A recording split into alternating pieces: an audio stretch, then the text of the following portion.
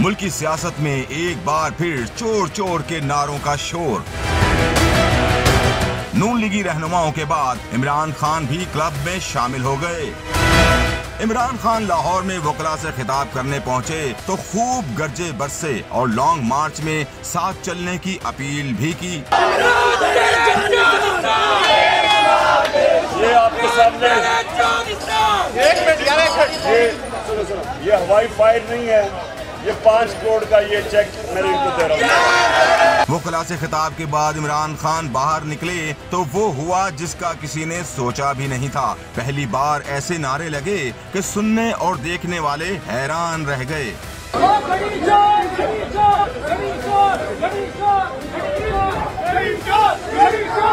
इमरान खान के खिलाफ नारे तो लगे, मगर ये नारे किसने लगवाए? हकीकत सामने आ गई। लीगी रहनुमा ने खुद ही एतराफ भी कर लिया। बाबा तौर पे बहसीत पंजाब प्रेसिडेंट। मैंने ये अपने वर्कर्स को कहा है कि ये आपको जहाँ भी नज़र आए, इसे घड़ी चोर और तोशा खाना चोर के तौर पे जो है, इसके इसके ख़िलाफ़ नारे लगाए जाएँ और इसको जो है, ये मालूम हो कि ये बात कितनी हद तक मेज़ और कितनी तकलीफ़ देह है, जो ये लोगों को कहता है कि जनाब, जब भी आपको जो है वो मुस्लिम लीग नून के नज़र आएँ तो आप इनको जो है वो चोर चोर कहें। मुस्लिम लीग नून के रहनुमाओं के खिलाफ भी ऐसा ही हो चुका है। कभी लंदन तो कभी सऊदी अरब में लीगी क्यादत और रहनुमा नारों का सामना कर चुकी है।